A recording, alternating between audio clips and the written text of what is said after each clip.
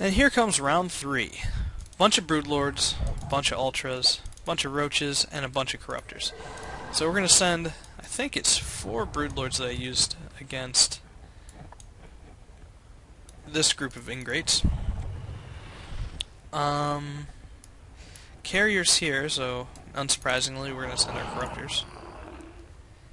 And then the Ultras and the Roaches and a Broodlord will be going around here.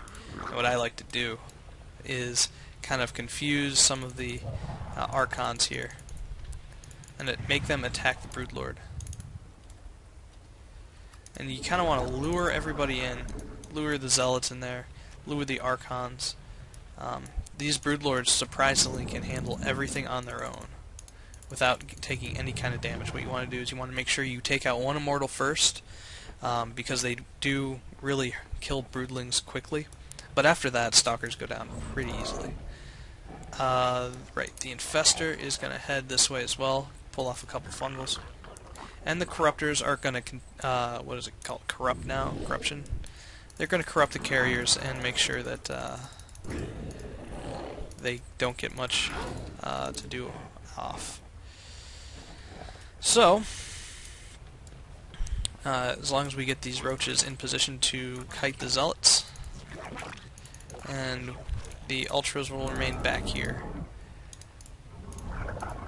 and the infestor just if we need it. But he should be in range here, and we're going to hold position here, and uh, we're going to tell it as soon as the attack begins to target an Archon, to make them stay around. And even though the broodlings will die quickly, it'll delay them just a little bit. Because as soon as we kill these zealots, everything else will fall. So let's get started with the broodlords here, shall we? And what we want to do is we want to attack them. And since the Stalker actually got in range, we want to make sure we kill him first and then back to an immortal. As soon as we kill one immortal, everything will fall. So that immortal's dead, we want to kill the stalker that's closest, and then go to the next closest stalker. And then we want to go to more stalkers, because even though the immortal will kill him, he's still going to get some damage. And we'll just continue to kill him at, at our leisure here. Broodlords will just continue to wreak havoc, and that's the proper usage. HD and Husky, I'm looking at you. It's not wreck havoc. How stupid that sounds. Um, causing chaos is another phrase I like to use, but again, poof, Stalker go boom, and no losses.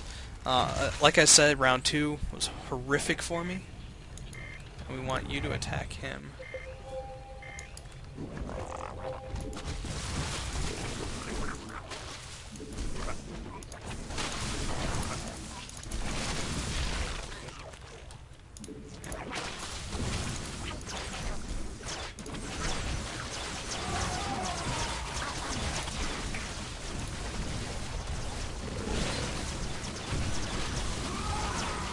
I already lost two.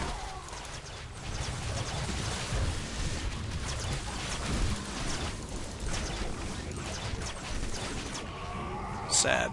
But, assuming I don't lose three corruptors, it won't matter.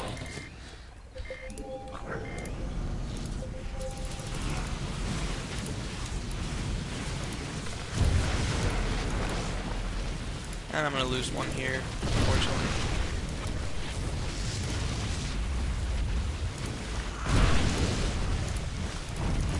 I'm probably to lose this one. No. Ugh, I lost a Corruptor for no reason. Sad. But success. So there is for the Swarm challenge mission number 3. Gold. Again, round 2 was stupid. Uh, if you burrow micro a little bit better, you won't lose the roaches. Um, round 3, uh, I just wasn't paying attention, unfortunately. So, there you go. Um, hopefully the second round will be up and coming as well we shall see. So until then, good luck.